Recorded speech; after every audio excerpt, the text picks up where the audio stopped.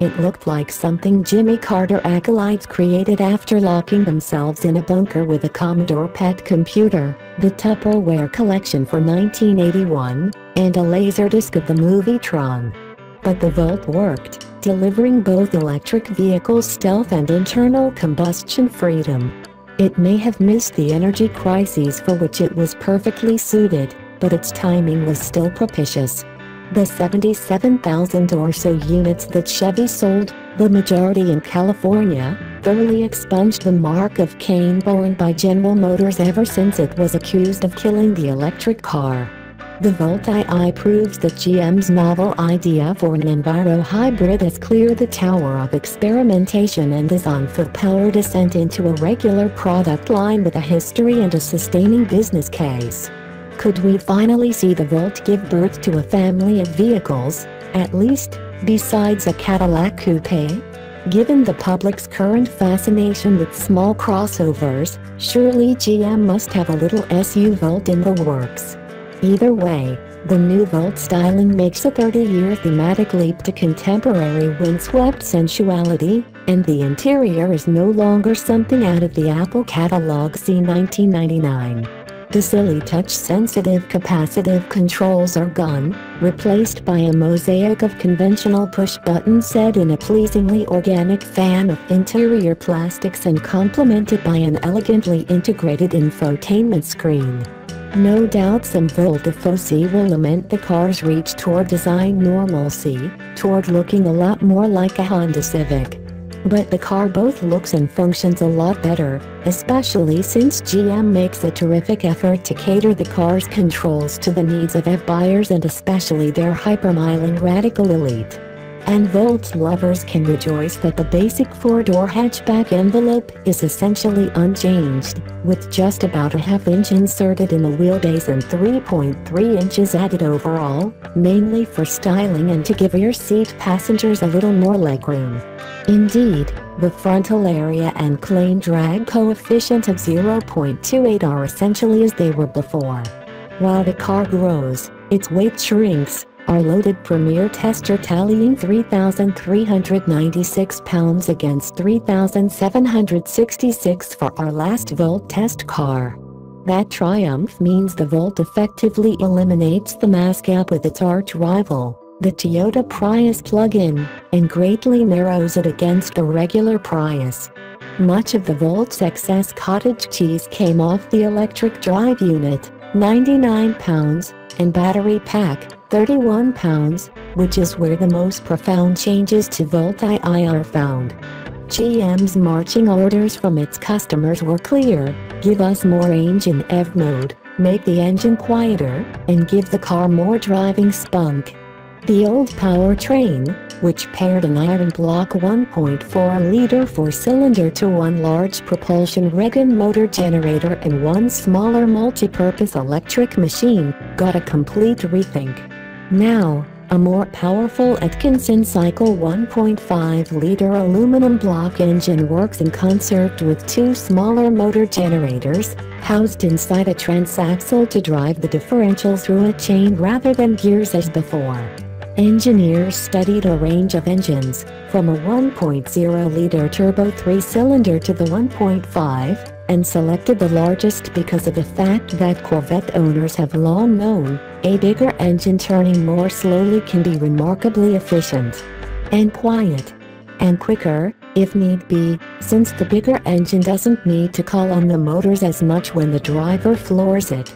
The long, 86.6mm, 3.41 inch stroke makes the Volts lump a sort of automotive tugboat engine, a low-speed torque machine with its 101 horsepower arriving at just 5,600 revolutions per minute.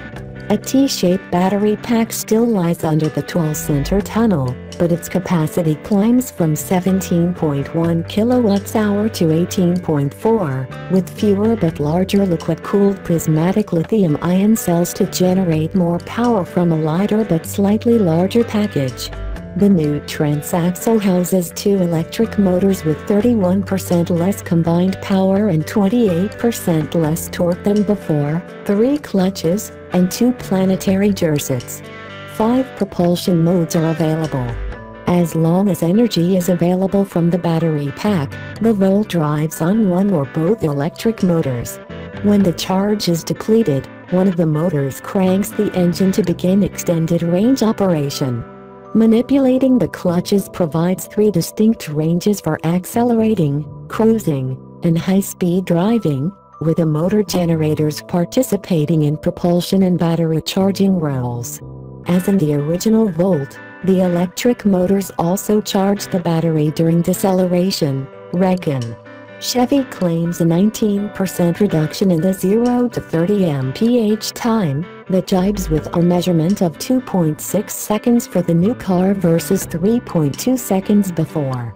The old Volt took 8.8 seconds to hit 60, the new Volt takes 7.8 seconds.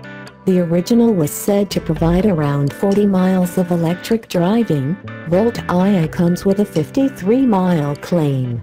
In two complete drains of the battery during normal driving, we saw 52 and 56 miles.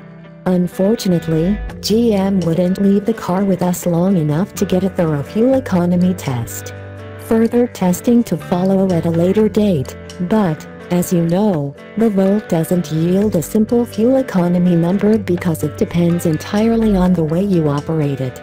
Drive at less than 50 miles per day and recharge overnight, as most Volt owners do. Actually, 41 miles per day is the average, says GM, and the 87 octane gas in the tank will just slosh around unused, the engine nothing more than a couple hundred pounds of dead weight. Unless you command it to do otherwise, the Volt runs on electric power until it depletes the usable portion of the battery, and then seamlessly switches to a combination of gasoline and electricity. We did manage to get in a 120-mile run in this combined engine electric mode with mixed traffic and road types, and it yielded a price like 48 miles per gallon. Suffice it to say, the Volt is thrifty. It's also livelier, with a strong pull from a prodded gas pedal, and has reliable brakes and accurate if not thrilling steering. The Michelin Energy Saver tires supply quite an adequate grip, but only to a fairly low threshold of 0.80 grams. Bank robbers won't be looking here. As promised, the Volt is quiet even with the plugs firing, unless you really draw the battery down by say, running 9 successive quarter miles, or by climbing a mountain. When it needs to run hard, the 1.5 buzzes with labored effort, a noise especially apparent when you come to a red light. Most engines are at their quietest then, but the volts can be cranking away in a frenzy, charging the battery, it's one of the peculiar idiosyncrasies of this powertrain, but GM claims that the Volt II falls into these charging holes less often than Volt I, so it's a rare occasion. At its highest speeds, the engine vibrations in our early test car found something sympathetic in the body to rattle, producing a clattery duet. You can tell that GM closely studied the way EV drivers operate their vehicles. It's all about energy management, and Volt II gives you lots of control. For example, the four driving modes include normal, sport, and mountain, which cuts the EV-only range to preserve the battery for expected long climbs, plus hold, which lets you save the battery for whenever you want EV miles. Those modes carry over from the Gen 1 Volt, but even handier is a new regen paddle on the back of the steering wheel, which turns a clunky hypermiling technique done with the shifter in many EVs into a simple fingertip function. Most EVs offer some kind of max regen mode, but you usually have to shift into low or B to engage it, then shift back to D for normal acceleration. The Volt makes it much easier. The paddle only works when you lift off the gas, engaging maximum regeneration. In many daily situations, the paddle cuts the car speed enough to provide all the deceleration you need and it will even stop the car completely. Which means the friction brakes, those energy squandering devices from the smokestack era, can be used less often in favor of the paddle, which pulls electrons back into the battery. The rest of the cockpit does its share of plain black plastic but is laid out with pleasing hints at pseudo-grandeur. Mercedes could take a lesson from the artful integration of the central touchscreen into the dash. Apple CarPlay was working on our car with an iPhone, though, as we've already reported, the functionality is limited. The driver's instruments are displayed on another multicolor screen with four selectable configurations, though really two with two minor variations of each. Nothing from the old Volt's display is carried over, and the navigation map can now be echoed in a small window below the speedometer, though without a separate zoom function. Rear seat riders will have to duck under the sloping roof to enter. Chevy now fits a middle seat belt but adds no legroom, so the necessarily short person there must straddle the battery as if riding a Shetland pony.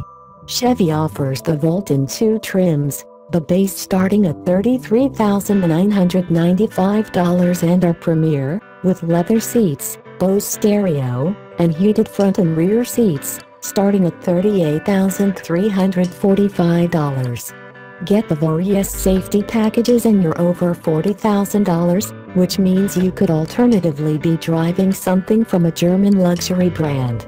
The Volt, however, even in its relatively voluptuous new body, plays to folks less motivated by crass materialism, even if their object of desire bears the same price.